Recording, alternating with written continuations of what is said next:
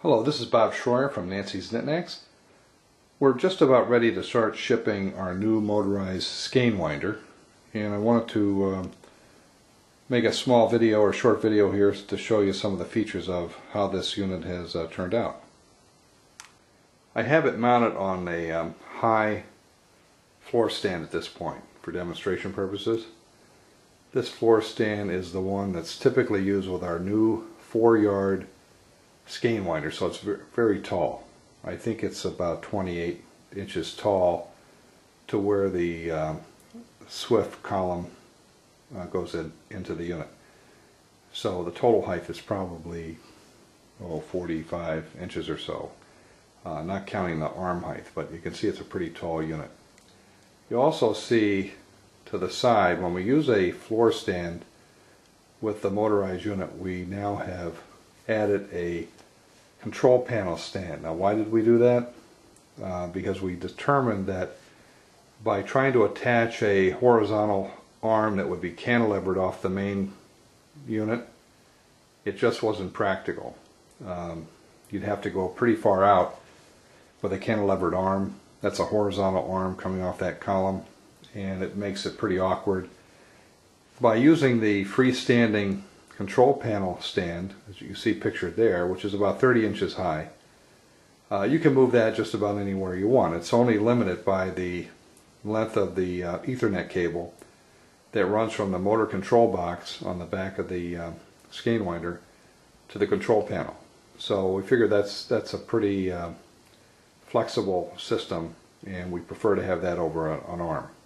Now this particular stand is a prototype stand and I don't have the final production components in from my supplier yet. So that's why you see those mounting holes there. We basically uh, adapted some existing components uh, to make this stand. But essentially that control panel will be on a slightly tilted surface. It'll be permanently attached to the uh, to the uh, column. So one of the main features of this motorized skein winder is that it's controlled by the ERC, which is that meter at the top of the column there. And we're going to zoom in on that in just a moment. So what I've done is I've connected my yarn, I've got a cone on the floor and we're going to start running that but what I'll do is I'll I'll set a quantity here of uh, 20 rotations but I could also set yards and, and meters. So that's our target. When it gets to 20 rotations it'll automatically shut the uh, the unit down.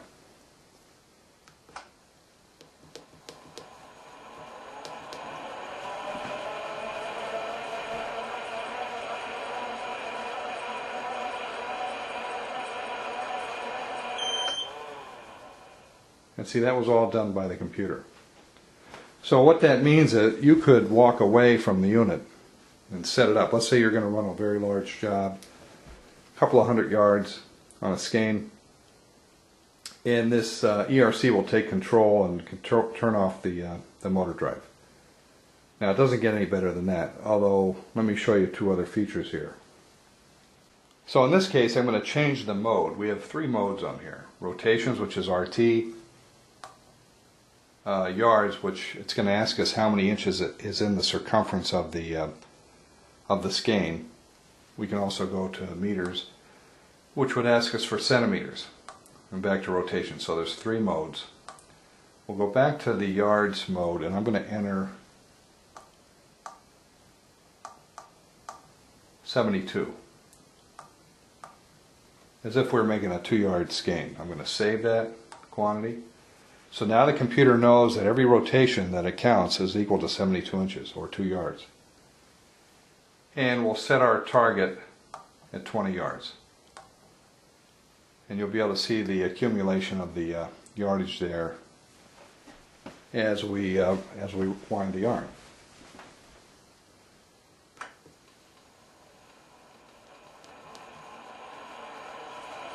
And then it will shut it off. Now it will drift past 20. You see it went to 22, 24. So what you do in a case like that is the faster it's going, of course, and the more yards that are on each rotation. Like in that case, it actually went two rotations past the the theoretical stop point of 20. But because there are two yards on each rotation, it equaled four additional yards. So you simply take that into consideration when you're when you're keying in your data. I'm going to reset that. Fact, I'm going to change the mode. I'm going to go to meters now. It's asking me for the number of centimeters. You know, there's a uh, there's a hundred centimeters in a meter. So let's say we want to make it uh, 70.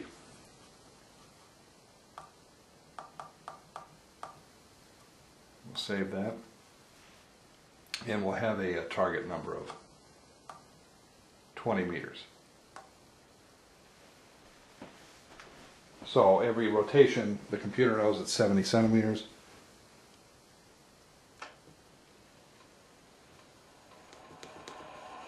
And when it gets to that number, it'll stop it. So you're able to set meters, yards, rotations. You can key in the exact uh, measurement around the circumference. We even give you a 10 foot tape measure to do that. And uh, you know, that's the most sophisticated yardage counter on the market. Now please excuse the number of cables I have on the floor. I'm running uh, two different meters here and a motor and I just haven't had the time to really dress those up properly for this video. But anyway, that normally wouldn't be as bad as it uh, as it looks right now.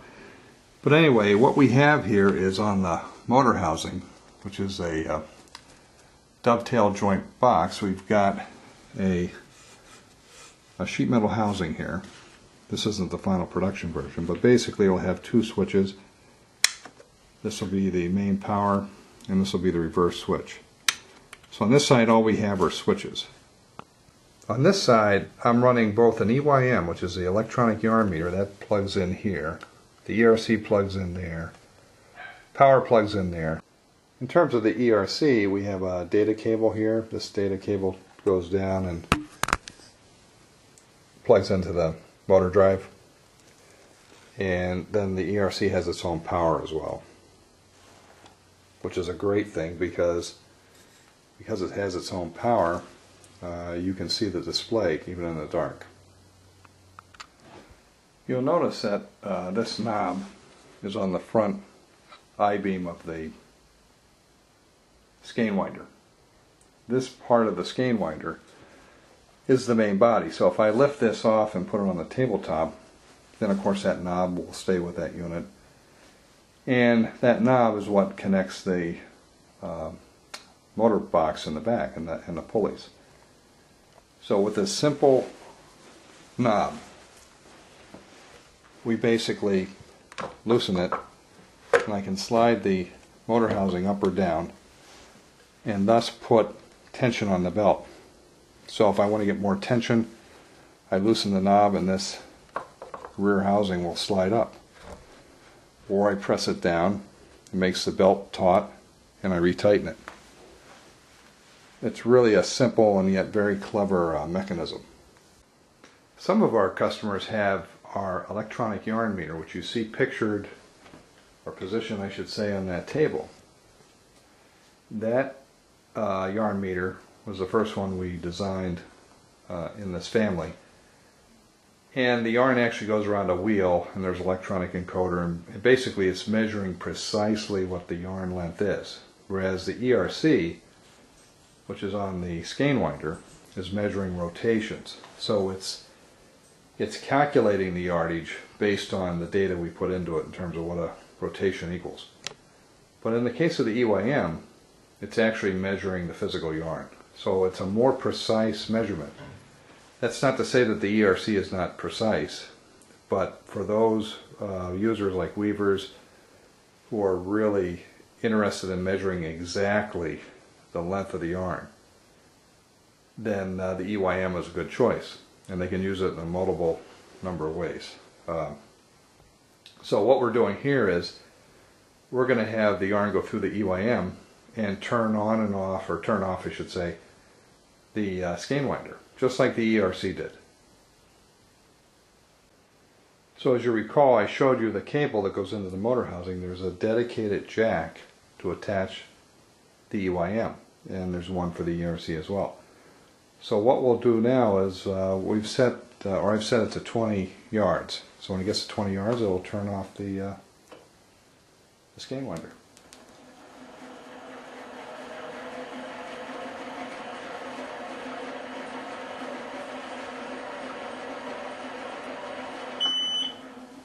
So there you go.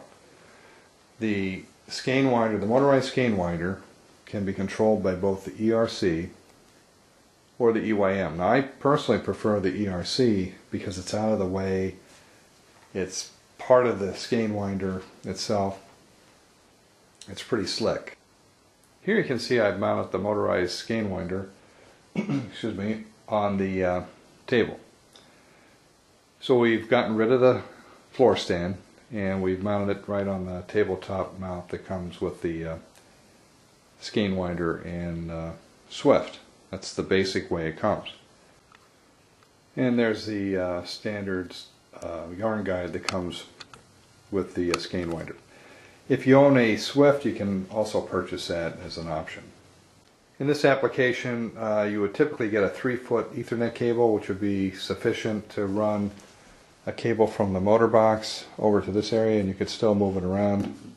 Um, that control panel fits underneath the rotating arm, so it's not a uh, it's not a risk, although you may want to move it to the side simply so you don't get in the way of the rotating arms. So this would be the typical way that most people would use it. Uh, you know, only those people that need to uh, get it off their table or whatever would have the floor stand, or if they just want to have a floor stand. Uh, but this would be typically the way most users would use it. They'd have the control panel right on the table surface, and uh, the Swift or the skein winder right on the tabletop. And that's the rear of the motor housing. By the way, the uh, the RPMs on this setup will be about 175 RPMs. We have downgraded the four-yard skein winder uh, with the same motor setup because there's more mass, there's more weight to the system. That tends to run at about 110 RPMs. But you know, you're putting four yards on each rotation, so you're basically doing 440 yards case. You're doing 175 times two yards or two meters. That basically gives you 350 yards per minute. So that's quite a bit of yarn.